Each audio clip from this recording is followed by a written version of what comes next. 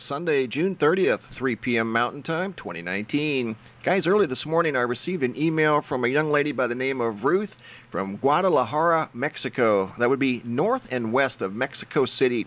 Want you to pay attention to this bay right here.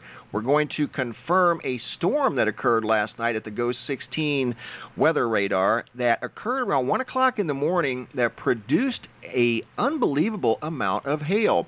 And the storm itself, from the looks of it on radar, did not look like anything out of the ordinary but did it produce some extraordinary hail right here in this area?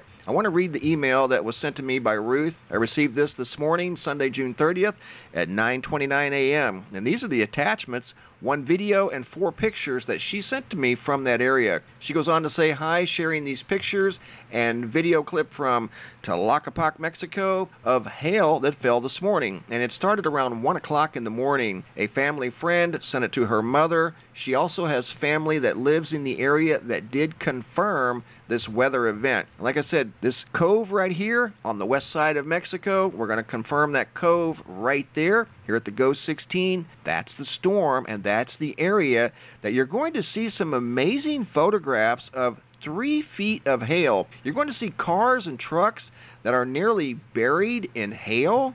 It's just not something you see every day. It truly is an unbelievable sight right here in this area here. That's the storm once again at its apex when it was probably around 40, maybe 45,000 feet. Wasn't anything, like I said, that we don't normally see on the GOES 16 somewhere on a daily basis. But for whatever reasons, this storm system had an extraordinary amount of hail, or it produced an extraordinary amount of hail in it. Look at that. You're going to see semis here that are completely stuck in hail. They had to break out like heavy equipment, tractors and things like that to remove hail from the roads. That's a 18 wheeler that is buried in hail. Can't get the doors open. Look at that, all the way up to the hood.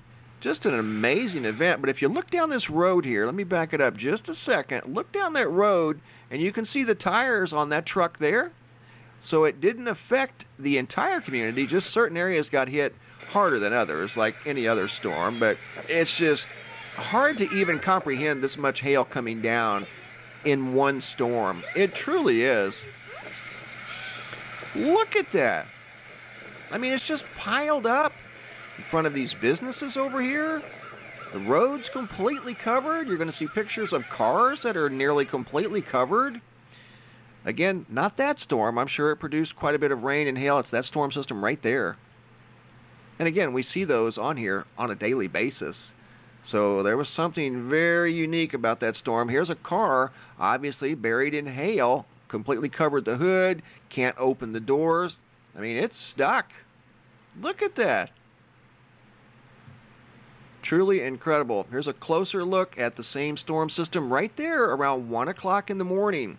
Lasted for about 40, 45 minutes, and then it cleared out. There's another picture of the yellow car parked in front of a full-size white pickup truck that is also stuck in the hail.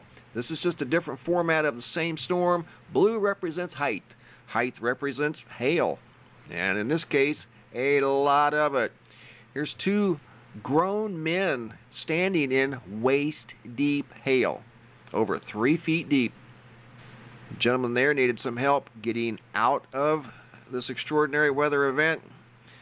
See here, climbing up a ladder from some area. I mean, the terrain there temporarily looked like the surface of Antarctica. I mean, if you didn't know better, you would think if you were just looking at that, is that Antarctica or, or somewhere up in the Arctic? It's just an unbelievable weather event. You don't see this every day. Certainly don't see this every day. This is a tropical cyclone that's churning out off the west coast of Mexico out in the East Pacific. I don't think it had anything to do with the incredible hailstorm that occurred last night near Guadalajara. This is Hurricane or Tropical Cyclone Barbara. This is the second named storm of the year for the Eastern Pacific. It's forecasted to become a Category 2, but will not affect land. In fact, the farther north it drifts over the next few days, it's a slow moving storm. That's why it's going to possibly become a Cat 2. It's going to weaken when it gets up into the cooler waters. But just on a side note, there is a tropical cyclone out there. I don't think it influenced that hailstorm that was, you know, 300 miles away, which occurred right over there. I don't think it had anything to do with it. Could have influenced it in some way, but kind of doubtful. But nevertheless, there was an incredible hail event last night that occurred in Mexico, dropping three feet of hail in some places. I want to share a couple of photographs with you that were shared with me here recently. This was sent in by the Laughing Jasmine from Redding, California, of a perfect oval in the sky. She sent this photo in a couple of days ago excellent job, Jasmine. Thank you for sharing. And this one here is something you don't see every day. This was sent in by Mike R. from Sidney, Montana. And this is of a lightning strike that impacted a golf course in Sidney, Montana. And this is what it did to one of the holes. This is the green on one of the holes at the golf course that Mike uh, was at. And you can see how Spider veins went out in all directions. In fact, it looks like lightning on the ground. That's where it made contact with the ground at the golf course that Mike noticed the other day. I've had this photograph for about three or four days now. Mike sent this in again from Sidney, Montana. I want to thank you guys for sharing your photos. You can send your pictures to reports at MrMBB333.com. Thanks for watching. Have a super day and be safe out there.